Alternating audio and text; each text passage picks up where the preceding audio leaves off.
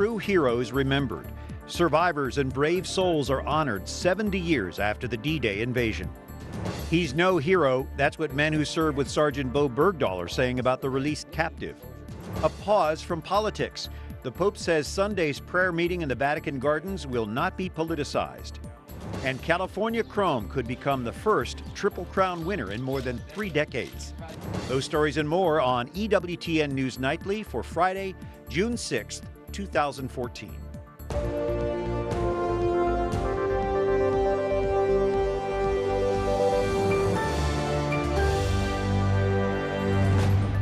Good evening from Washington. Thank you for joining us for EWTN News Nightly. I'm Brian Patrick. We begin looking at news now. Today marks the 70th anniversary of the D Day invasion, a day that changed the course of World War II and modern history. Leaders from across the world came together at Sword Beach on the Normandy coast today. French President Francois Hollande, Queen Elizabeth II, and German Chancellor Angela Merkel were among those who came. Veterans from the Allied countries sat patiently in the sun, umbrellas offering some relief from the heat. President Obama spoke at the morning ceremony after meeting with surviving D Day veterans. We tell this story to bear what witness we can to what happened when the boys from America reached Omaha Beach. By daybreak, blood soaked the water, bombs broke the sky. Thousands of paratroopers had dropped into the wrong landing sites. Thousands of rounds bit into flesh and sand. Entire companies worth of men fell in minutes. Hell's Beach had earned its name. After the president's speech, U.S. F 15 fighters took to the sky in the missing man formation. Well, it was a morning to reflect for the surviving D Day vets. The now peaceful Normandy beaches hold vivid wartime memories for the men who landed here. Exactly 70 years after members of the 29th Infantry Division stormed Omaha Beach under enemy fire, surviving veterans gathered at dawn to reflect on their unit's sacrifice. A beautiful new statue was dedicated in their honor. We have a bond that is eternal. We went through life changing experiences during those extraordinary war years, the American Army and our French allies. Those events shall live with us forever. Their numbers are dwindling, but these veterans represent what we have come to know as the greatest generation. Why? Probably because we, we were willing to die for, for the freedom of other people. 90 year old Don McCarthy from Maryland says he's blessed to be alive knowing that so many died on these beaches. A very special moment in my life. I'm so filled with joy right now. I can hardly control myself. Tell them what it looked like here. You know? Didn't look like it did this morning. Thanks, Guy, for being here. Today, McCarthy and his fellow brothers from the 29th are honored while remembering the men who died in battle here. I asked God that I would do whatever He wanted me to do in my life to get me off the beach. And He sure did. Brought me here today. You know, the whole bunch of us that, that, that were fortunate enough. that God blessed us to get here. And back here in Washington today, veterans were honored at the National World War II Memorial. Relatives of former Presidents Eisenhower and Roosevelt hosted the event in the National Mall along with the Friends of the National World War II Memorial. EWTN News Nightly caught up with several groups who came to Washington in honor of our veterans. And when you ask them, what did you do? They say, I didn't do anything. And I think that's just the, the, the humility that our World War II veterans have, uh, you know, how humble they are, how appreciative they are of everything that this country has. So, just great day. Well, every day I think uh, when I have the occasion to meet a World War II veteran, or especially to celebrate their mass Christian burial, which are happening in record numbers now because of their ages, uh, it reminds us of the duty that they embraced. As part of the ceremony today, representatives from each of the Allied nations that took part in that battle at Normandy laid wreaths at the Freedom Wall. On this momentous day, we're joined by a renowned historian and author, Craig Symonds. His book is called Neptune The Allied Invasion of Europe and the D Day Landings. Craig, great to have you with us. Thank you, Brian. Happy to be here. This is an incredible day. We are remembering 70 years ago the, the sacrifice made by thousands of young American soldiers. Describe the scope of the D Day invasion. Well, it's nearly unimaginable. I mean, over 6,000 ships. In fact, the one most iconic memory that connects all of the people who participate in this is that view of those, that ocean of ships, uh, stretching out, filling the Bay of the Seine with 6,000 warships, transports, landing craft, Higgins boats, rocket firing craft, almost every ship imaginable. And of course, by the time it was over, they brought 176,000 on that first day, but in the end, over 2 million men across the channel for that invasion. And now in that peaceful area of France, there are these rows and rows of gravestones, which indicates how deadly this was. The first waves of this invasion, they almost had no chance. Well, especially on Omaha Beach. There were five Allied beaches, two British, one Canadian, two American. And Omaha Beach, one of the American beaches, was one where geography and circumstance combined to make it an extraordinarily difficult target. And that is where the really awful moments took place. But in order for the, the invasion to be a success, and history shows that it was the turning point in the War of Europe, in order for that to be a success, there had to be that number of men, and I'm sure that many knew that they would never come back. Well, obviously, someone has to go first. And among the most uh, vulnerable in this are the Naval Combat Demolition Teams, NCDT, uh, who went ashore to blow up the obstructions. And here are mined obstructions on the beach, and they come in with sacks full of C 2 explosives over their shoulder, wading ashore through machine gun fire to put explosive devices on these already mined objects.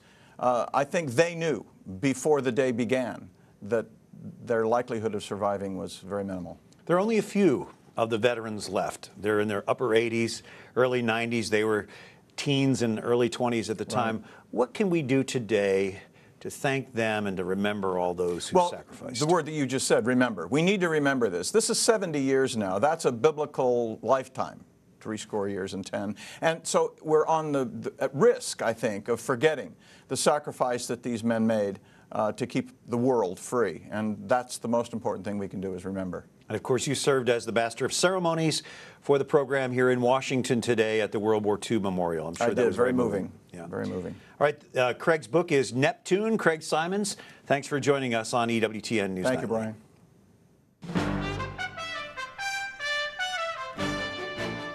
Now, some of the other stories our EWTN News Nightly team has been covering in today's world.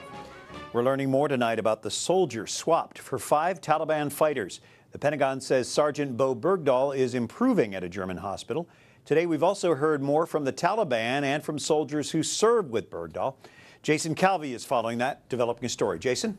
Brian, we were hearing today from three soldiers who served with the sergeant in Afghanistan.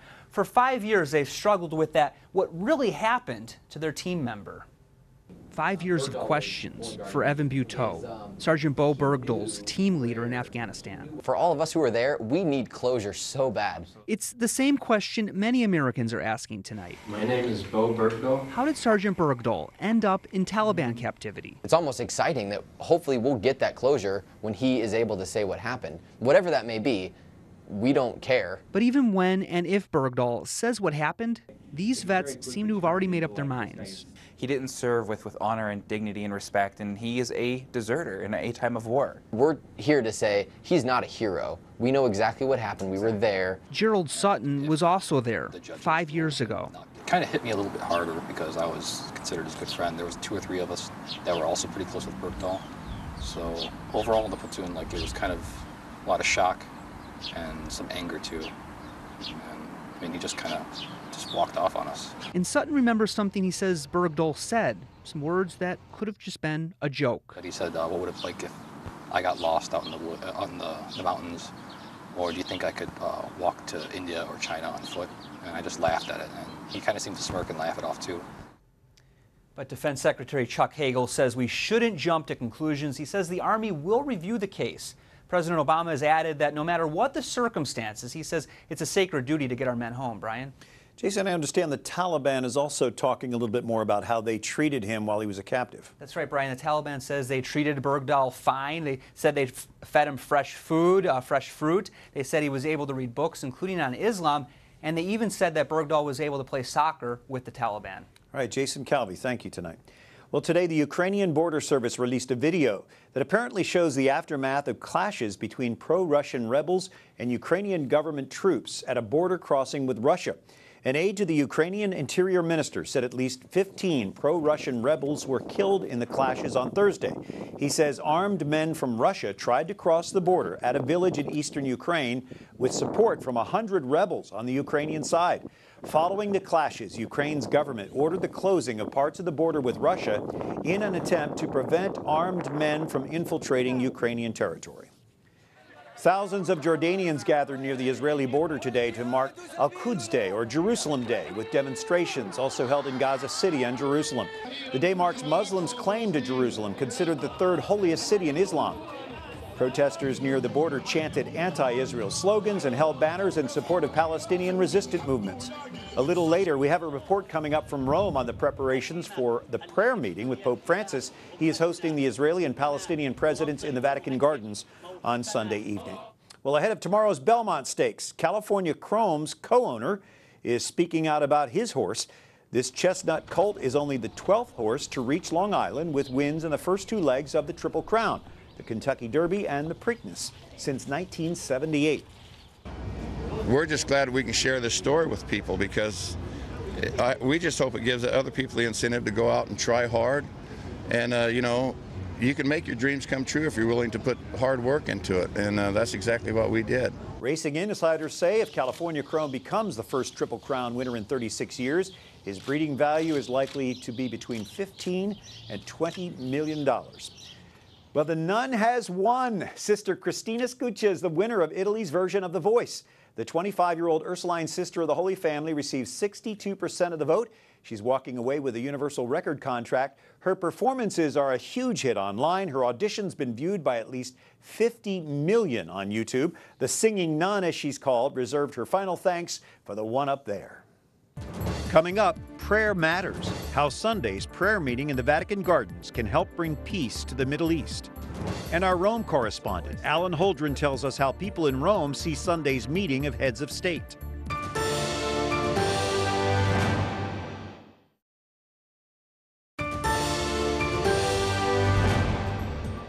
From the official Twitter page of Pope Francis, this prayer Peace is a gift of God, but requires our efforts. Let us be people of peace in prayer and deed. Welcome back to EWTN News Nightly for this D Day, the 6th of June. And uh, this evening, we have more details about Sunday's prayer meeting with Pope Francis and the presidents of Israel and Palestine. During his trip to the Holy Land, the Pope invited them to come to his house to pray for peace. Organizers say they'll meet outside in the Vatican gardens. There will be separate prayers for the different religions. They are emphatic that this is a religious ceremony, not a diplomatic maneuver. Father Pierbattista Pizzaballa, one of the event organizers, said that they'll be taking a pause from politics. My hope uh, that uh, this event will help uh, to bring a new atmosphere of peace in Middle East. It's also confirmed now that Greek Orthodox Patriarch Bartholomew I will be there, along with Holy See, Israeli, and Palestinian delegations. We've been following this since it was announced during the Pope's trip to the Holy Land. Our Alan Holdren was there in Jerusalem with the Holy Father. He's joining us today from Rome.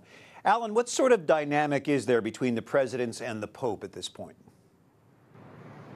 So this, uh, these encounters between Pope Francis and these two presidents have taken place individually in the past. Just in the Holy Land a couple weeks ago, the Pope visited them each in their separate lands. They've both come to visit him also in the last year and a half in the Vatican, each separately. This time they'll be coming separately, but they'll be meeting with him together and amongst themselves. Now this, uh, for the Pope, is a, a major encounter, but he said it's not for negotiations. It's not to propose solutions. It's just to meet together and to ask God for peace in the Holy Land. Now, uh, for, for the, the Pope and for these two, this encounter will be groundbreaking. And certainly there is power in prayer. We all know that. What are people there in Rome saying about this meeting on Sunday? They're saying that this is an extension of his trip to the Holy Land. This is really the exclamation point, the conclusion. Now, uh, there are no expectations for what could come from it, but there is an archbishop, one of the closest uh, collaborators with the Pope inside the Vatican, who says that the Pope in this encounter is going to bring God into the equation.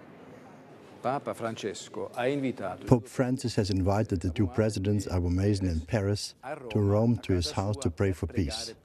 With this sentence, I'm saying everything. Prayer is stronger than diplomacy.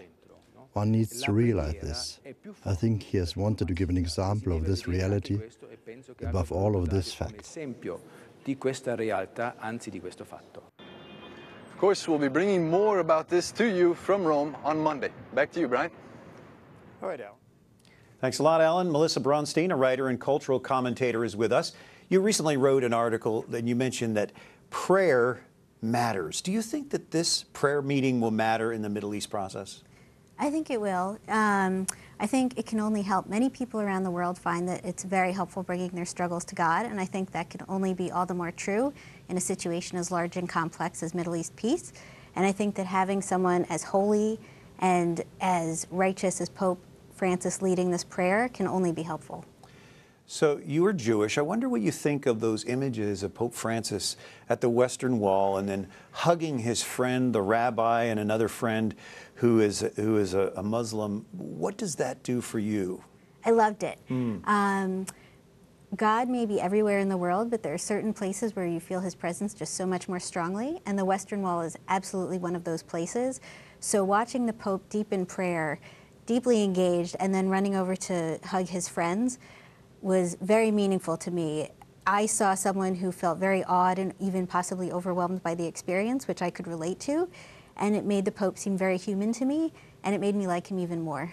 He's a very genuine person, and just to watch him, you can see that his heart is in this. Mm -hmm. None of this is for show. I know right. some of the secular media would like to present it that way, but his heart is truly in that, and that matters, doesn't it? Absolutely, yes. So, when Francis met with the Holocaust victims there at the uh, Israel's National Holocaust Memorial, that was very touching too. What was your take on that? Uh, I found the whole thing very moving. Uh, for most of the world, I think the Holocaust is ancient history, but Israel was born from its ashes. And I think for Israelis and for Jews around the world who lost family in the Holocaust, myself included, it was very meaningful having the Pope visit Yad Vashem to be there. I found him very loving and, and very genuine with the Holocaust survivors that he met. The compassion that he showed was very impressive. I was also impressed by the moral clarity with which he spoke about the evil that men are capable of. And my one hope is that the Pope will be inspired by this visit to go out and continue speaking against anti-Semitism, which is again a rising threat in Europe. And that is certainly part of his mission in this whole unity uh, mission that he's on, and we pray for the success of that. Melissa, thank you for joining us tonight. Absolutely.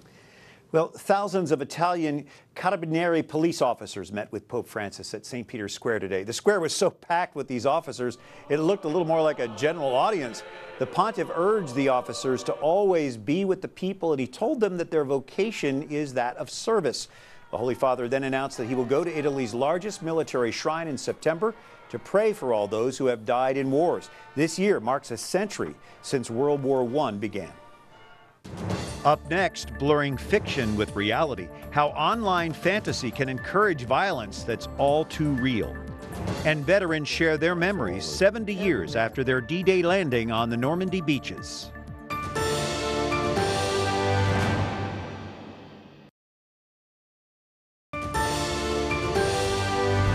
Thanks for joining us. I'm Brian Patrick. After an alarming crime in Wisconsin tonight, we take a closer look at what some kids are doing online. EWTN News Nightly's Catherine Zeltner reports. Here, in these woods of a Milwaukee suburb, a young girl was found fighting for her life on Saturday, the victim of a disturbing attack, allegedly stabbed by two of her classmates, two 12 year old girls at a nearby middle school. Prosecutors say the girls had planned the attack for months. According to court documents, the two plotted to kill their friend to please Slender Man, a demon like fictional character on a horror site called Creepy Pasta. I've never seen anything like this in, in a 30 plus year in education. Todd Gray is the superintendent of Waukesha Public Schools. The district has brought in crisis counselors in the wake of this tragedy. They're also reviewing their internet policy. We've obviously blocked that site at this point. I don't think anyone was aware of that. According to the documents, the girls lured the young victim to the woods where they stabbed her. The girls told police they plan to, quote, run away to Slenderman's mansion after the killing. The attack prompted the author of the horror site to write a disclaimer on the page. Quote, There is a line between fiction and reality, and it is up to you to realize where the line is. The two girls have been charged with homicide as adults. Lawyers are fighting to move the case to juvenile court. Catherine Zeltner, EWTN News Nightly. Dr. Neil Bernstein joins us now to discuss this Slender Man phenomenon. Now, this guy, this character blurs fiction and reality. For these 12 year olds, how difficult is it for them to see the line between the two? You know, it's intriguing because all 12 year olds are not created equal. Some kids are much more susceptible to buying into that stuff than others. And clearly, the more a young person is blurring those distinctions, the greater the risk. So we're really talking about upbringing, good judgment values, and a combination of things that build the character that determines the reaction to these things. Well, let's get into the underlying factor here that this site, when you go to this site, it says this site hosts your worst nightmares. Why would people put these sites up, and what is the attraction, especially for young people? Well, you know, it's like the forbidden fruit when you say that to a 12 year old. Whatever you do, don't look at this. That's all we have to say. It just sucks them right in. And from the standpoint of whoever's behind these things, you know, you want to make it alluring, you want to make it addictive. And that's one of the problems we all face as parents how to combat this and what, what to do. You know, So monitor, and there are a lot of things involved here. This horrible situation where two 12 year olds attack another 12 year old, can that be blamed on this online character, or what other parts play into this?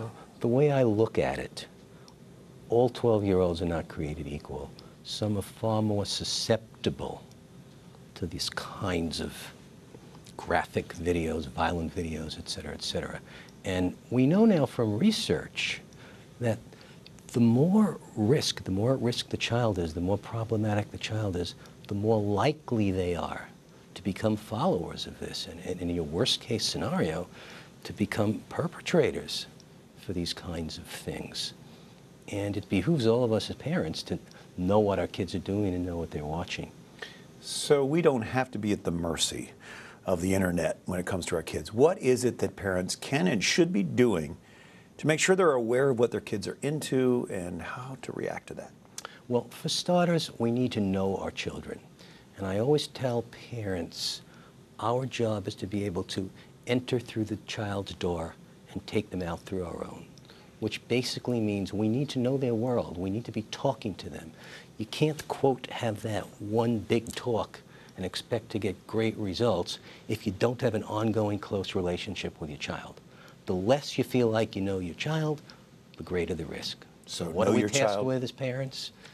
Talking to our kids on a regular basis. Know your child, and we have to let them know us too. Well, That's part of a relationship. Yeah, practice what you preach. Dr. Neil Bernstein, thanks for joining us tonight.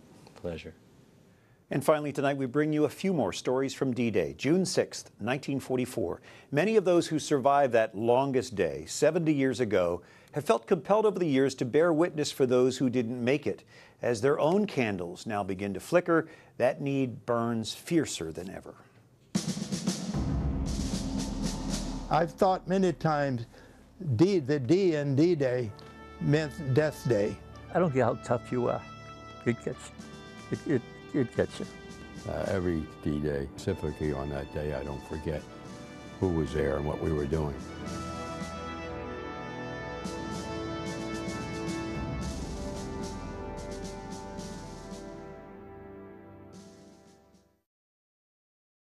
the odds of surviving were so slim.